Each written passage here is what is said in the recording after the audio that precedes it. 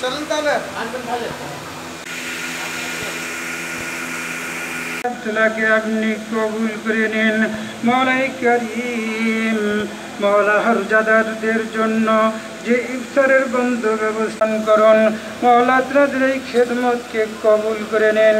এই খেদমতকে কবুল করে নিয়ে, এই সেবাকে কবুল করে নিয়ে মৌলা তিনাদেরকে জান্নাতুল ফিরদাউসের ব্যবস্থা করে দিন হে পাকে যাদের রব্বুল আলামিন, আপনি মেহেরবানি করে মাওলা। ভাতার পঞ্চায়েতে ভাতার পঞ্চায়েতে ভাতা অঞ্চলে আজকে পাখি হলো।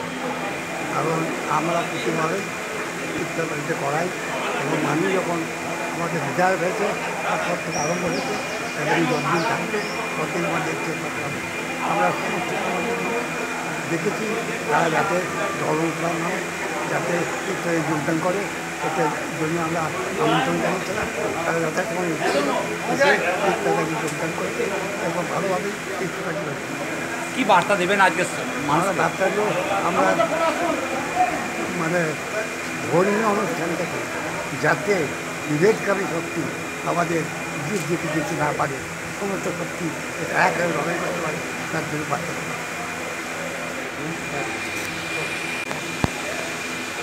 দাদা, কোথায় কি চলছে আজকে?